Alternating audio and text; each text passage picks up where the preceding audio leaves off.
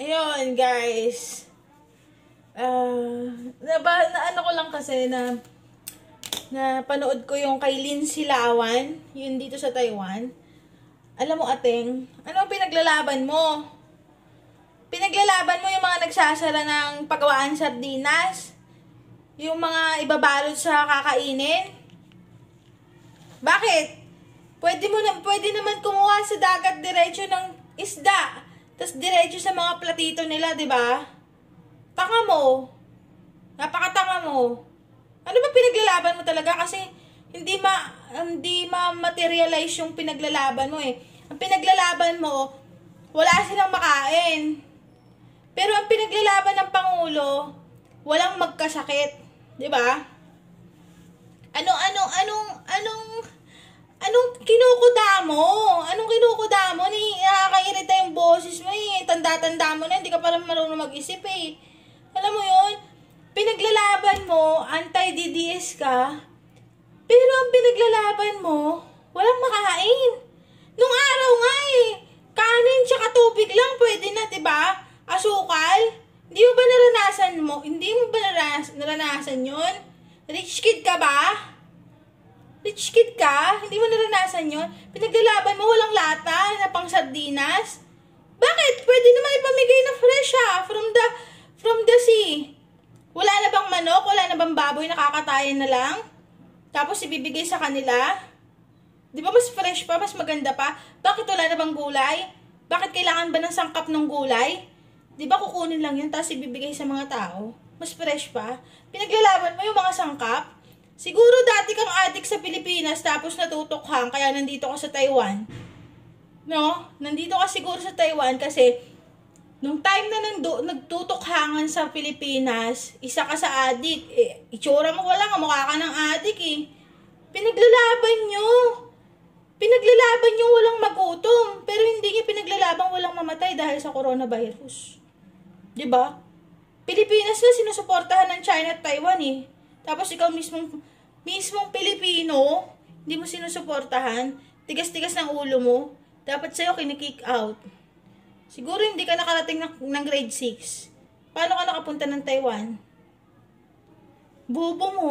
Sasabihin mo yung mga, yung mga Pilipino mangmang, yung mga sumusunod sa Pangulo, mangmang, eh ano ka? Diba? Nanay ka ata ni ano eh. Tsura mo, nanay ka ni... Ang tawag dito, itong artistang to. Split Queen. No? Yung, yung utak mo, nag-split din. Maka ano ka? Tanda-tanda mo na wala ka pang utak. Tatawagin mo pa kaming mangmang ng mga sumusunod sa Pangulo. Pinoproblema mo, wala silang kakainin. Ang, ang gawin mo, mag-donate ka yung sahod mo dyan, donate mo para sa lahat. Pinaglalaban mo, nakakairita ka. Do, siguro yung isa sa kamag-anak mo, ikaw mismo ang addict, nawalan ng supply ng shabu dahil kay Pangulo. Hmm, nakakairita ka.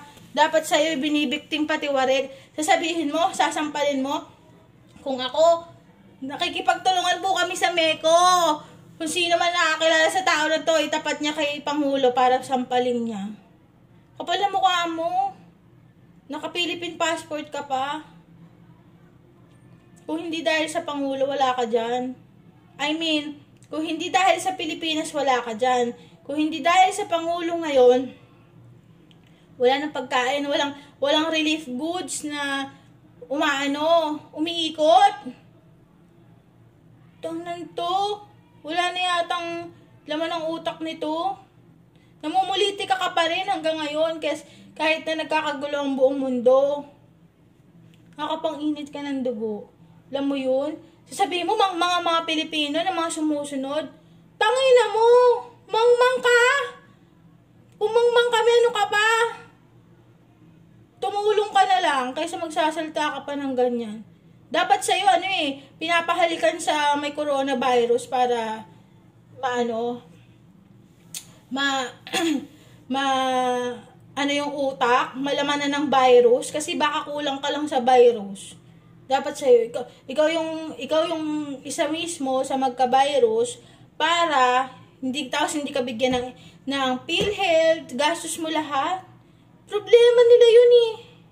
Siyempre, kung wala na silang makain, gagawa sila ng gagawa ng paraan para makakain, di ba? Ano ka ba?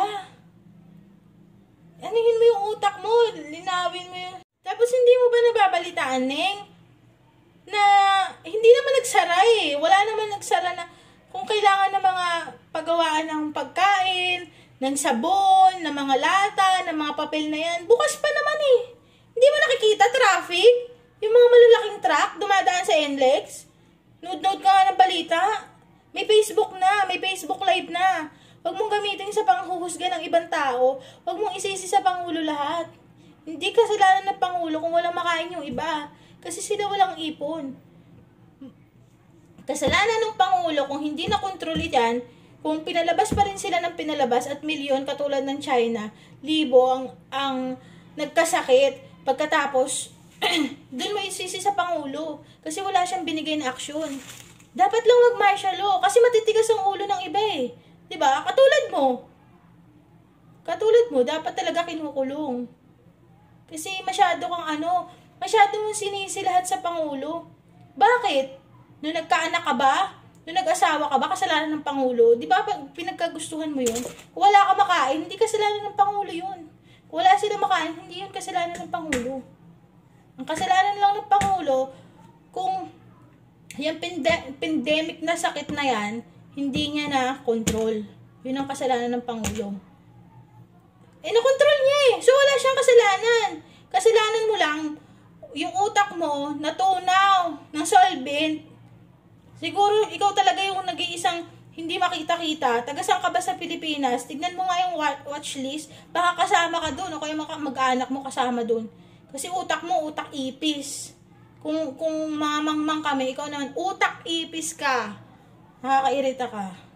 Yung, yung utak mo nilagyan ng ipis, yun ka. Alam mo yun? So sad. So sad na may mga, so sad na may mga ganitong tao na wala na nga naitulong sa bansa, kuda pa ng kuda. May naitulong ka ba? Tatanungin natin sarili. Tatanungin kita, may naitulong ka ba sa pandemic bukod sa panghuhusga, bukod sa pagsasabi ng kung ano-ano sa Pangulo? May naitulong ka bang iba? 'Di ba? Wala naman, 'di ba? Namig namigay ka ba ng relief goods? Sana namigay ka na lang ng relief goods. Kahit tigda dalawang lang bawat tao. Ilang kilong bigas na din yun. Ilang sardinas na rin yun. Ilang itlog na rin yun. Nakatulong pa. ba? Diba? Kasi yung kuda ka ng kuda dyan, wala ka naman na itulong eh. Ikaw yung mangmang. Kasi wala ka na itulong sa iba. Tinulong. Yung sasabihin mo, nagdadadakda ka dyan para sa buong Pilipinas. No. Hindi totoo yun. Nagdadakdak ka dyan kasi alam mo yun, ikaw yung, ikaw yung isa sa salot ikaw yung sa, isa sa salot na mangmang, na walang alam, na bobo, tanga-tanga. Ikaw yun lahat. Kasi ang daming paraan eh. Wala ka makain ngayon, gumawa kang paraan. May kanin ka, lagyan mo tubig. Rich kid ka, di ba? Hindi mo magawa yun. Nung araw nga, Milo lang eh. Wala nang hotdog nung araw, di ba? Nung araw, gatas lang. Tuyo lang. Toyo. Patis. Di ba? Uh, ketchup. Pwede. Rich kid ka na nga pag may ketchup ka, di ba? O kaya mantika. O di ba? Ano pa problema mo? Walang namamatay sa gutom. Pag namatay ka sa gutom, mga, mga isang buwan ka ng gutom bago ka namatay. Pero, ang coronavirus, one week lang, patay ka na. Ang tanga-tanga mo, napakatanga-tanga-tanga-tanga-tanga mo, nakakairita ka. Diba? Pinoproblema mo yung papel? Papel na ilalagay dun, label nung ano, nung, tawag dito, nung sardinas, hindi na nilalagyan ng label yun, pwede na ipamigay. Yung lata ka mo, paano kung wala ng materialis pa lata? Eh, gawa na paraan. Di ba? Ang tanga mo, hindi na kailangan na lalagyan. Isip ang, isip ang uh, ano doon, paano kakainin. Bakit yung lata ba kakainin mo? Pwede na may plastic yun ah, pamimigay mo. Fresh pa. Pwede naman yung isda, galing sa lambat, ipamigay sa tao. Di ba? Yung baboy, bago, katayin mo, pamigay mo sa tao. Yung manok, di ba yun ang naman kinakain ng tao? Yung sinasabi mo, yung paano yung Nestle, paano pag ano, pwede naman mabuhay yung tao na walang gatas. Di ba? Ang arte-arte mo, rich kid ka kasi. Nakakairita ka eh. No, masyado kang pasikat, masyado. No? Da- Nadaig mo pa yung mga vloggers na nananahimik. Nakakairita ka. Kung ako sa'yo, bumuwi ka na ng Pilipinas, magbundok ka na lang. Sumama ka doon sa mga MLF, sa mga Abu Sayyaf, kasi doon ka bagay. Tapos, sasabihin mo, hindi kumakampi ang China, kaya nagkakaganito ang bansa, kasi kampi si Duterte sa China. Ano kinalaman yung pagiging kampi niya sa China? Hindi mo ba nakita yung Divisoria? pu- Punong-puno ng mga Chin- Chinese. Di ba nakita? Halos, halos lahat ng ginagamit sa Pilipinas galing China. At hello, Taiwan is the Republic of China. Tanga. Tignan mo nga yung ano mo, yung visa mo. Taiwan, Republic of China. So, anong pinaglalaban mo? Yung kinakain mo dito sa Taiwan, mga Chinese din yun. Mga Chinese din galing. Yung mga ginagamit mo dito, yung pinapadala mong bagahe galing Taiwan. China din galing. So, anong problema mo sa China at kay Duterte? No? Kung ayaw mo sa China, dun ka sa mga ano, sa Saudi Arabia, sa mga Arabong mababaho, dun ka bagay. Dapat sa'yo nire-rape doon. Pangit.